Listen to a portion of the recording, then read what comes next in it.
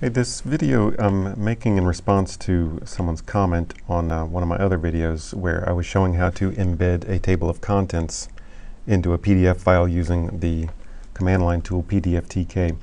Uh, the comment asked whether I knew how to change the page numbers and it wasn't very specific. I, I don't know exactly what the person was asking for, but I suspect that it was having to do with something that's often annoyed me about scanned PDFs in particular. In other words, ones that are generated by scanning something like, in this case, a book that I've got right here, where um, when you're on page one in the book, it's not page one in the file. So for example, in this one, I have to go to page 15 to get to page one in the book. And then after that, it's page two and so forth. And I think what the person was asking was, do I know how to change the PDF in such a way that um, that the page number, if I typed in a page number two right here, instead of taking me way back here, it would actually take me to page two of the text. So what you're trying to do is uh, fiddle with the uh, like the the underlying metadata of the file, and uh, what I discovered, there's a name for this. It's page labels, and yes, there is a way to do that, and I found it this morning, so I thought I would share. So I've got here a book that I made a, a nice digital edition of um, last year sometime, uh, nice HTML EPUB and so forth. And this was my target copy that I was using for reference. And uh, this one has not had the page numbers fixed yet. You can see here, if I go to page two, it goes there. When I go back up page one, it's the, the cover of the book. And so I'm going to show you how to go through and um, fix this so that if I typed, for instance, page 55, it would go to page 55 instead of what you see up here, page 41. All right, so uh, the first thing you have to do is uh, use PDFTK to uncompress the file so that you can edit the file in a text editor. And so I'm going to do that. The file that we're looking at here is called appliedcounterpoint.pdf in camel caps. So the command is pdf, oops, are you typing? There, PDF TK, and then applied counterpoint.pdf, and then you give it the name of the output file, output, and I'm just going to do ac dot uh, underscore raw dot pdf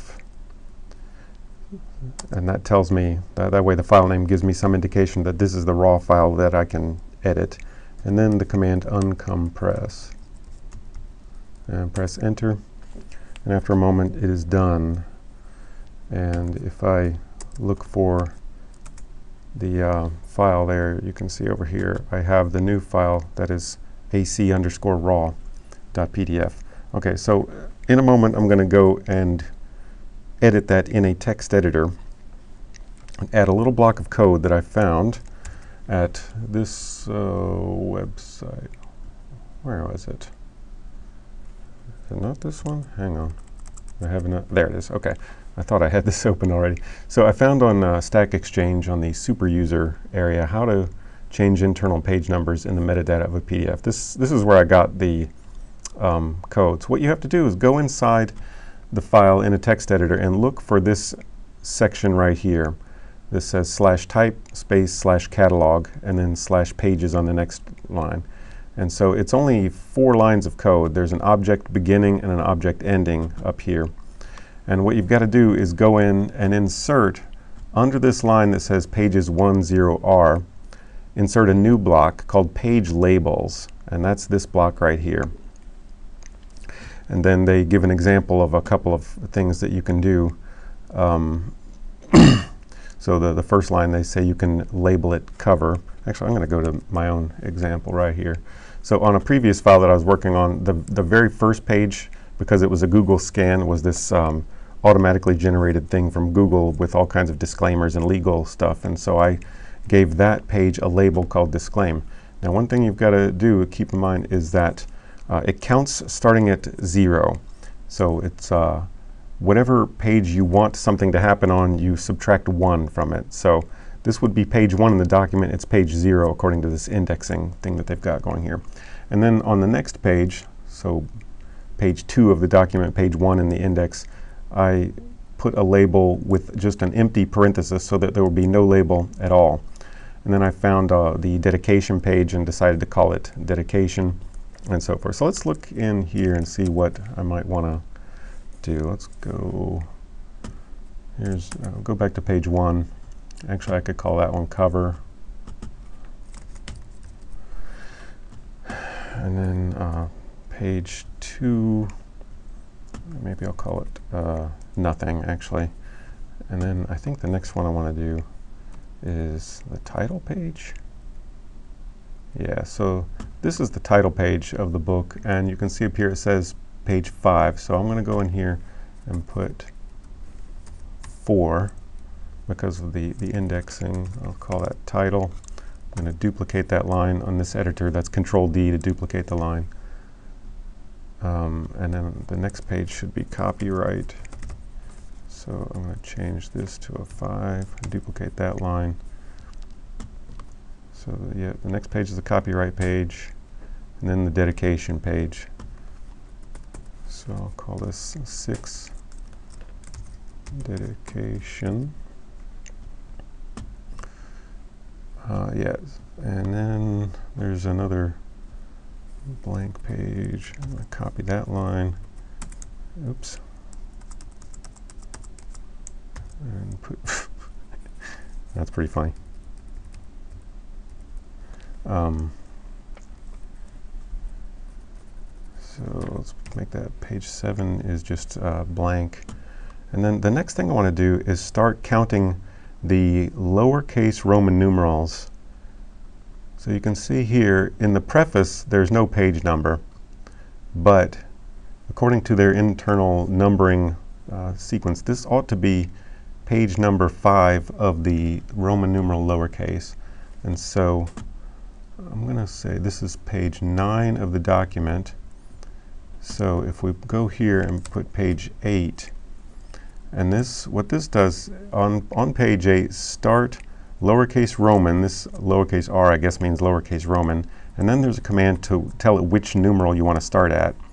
And so I want to start at 5, I think. Let me just check and make sure.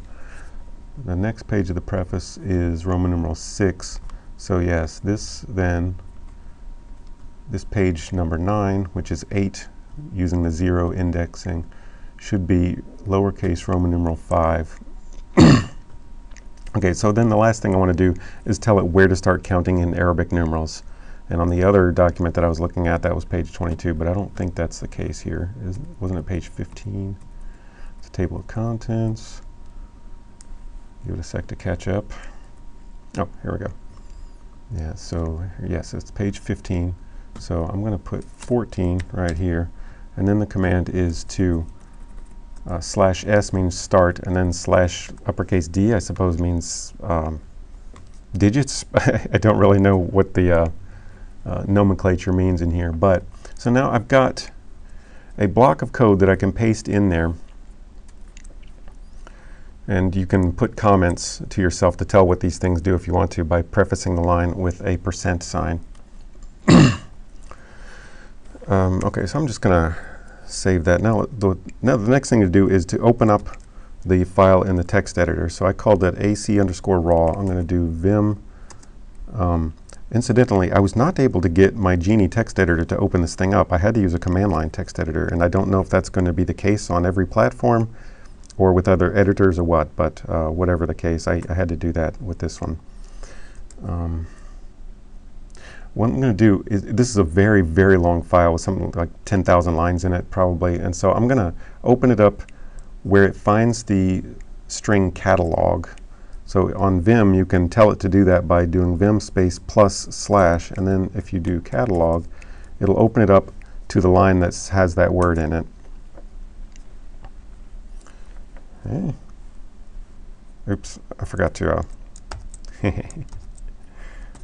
sorry y'all, I forgot to give it a, um, a name, uh, file name to open it. There we go. Okay, so right near you can see that um, type, catalog, page layout, two page. Okay, right here on line 563,005, This is the line that says slash pages, and I need to put the code that I just generated under that line. So I'm going to press O to open up a new line and go to insert mode. And then I'm going to go back over here and copy and paste this whole block that starts with page labels. I think that's right. Oh yeah, see, I forgot to, there was a part that I forgot to copy on my other example. Catalog. Yeah, so um, let me select these again. There's the block, the, the page label block. I'm going to put do Control C to copy that to the clipboard, and then Control Shift V to special paste it into the text file. And now I'm going to save it by doing um, uh, colon WQ. All right. So now that file has been um, edited, and the thing to do is to recompress it and then open it up to see if it worked. So we do PDF, t the, the format is similar to the other one, PDF TK, and then the file name that you were just working on, AC slash uh, underscore raw, output, um, and then I'm going to do uppercase AC.pdf just to make it different from the other, and then compress, and cross fingers. Takes it a moment. Okay, it's done. Now let's go, let's see if it worked. Uh, open it up. And looky here, already I see that at least something worked because in the upper left hand corner, now instead of saying uh, nothing, it says cover. Now this says nothing, nothing, and this should say title. Yep, this should say copyright. Yep. This is so exciting. This should say dedication. And then, looky here, we've got uh, underneath the thumbnails, there is a little Roman numeral. So uh, when I click on that page of the preface, it says Roman numeral 5, lowercase. And then let's go down. I'm going to type a random page number. Let's do page 100, 121. And hopefully it's going to show Look at there, up in the upper right hand corner, I type in the page number and it's exactly on the right page of the book. Isn't that exciting? Um, okay, so I hope you found that useful and uh, you will able to make your PDFs that have been scanned from non-electronic sources into much more user-friendly objects. Thank you very much for watching. I will see you guys some other time. Bye.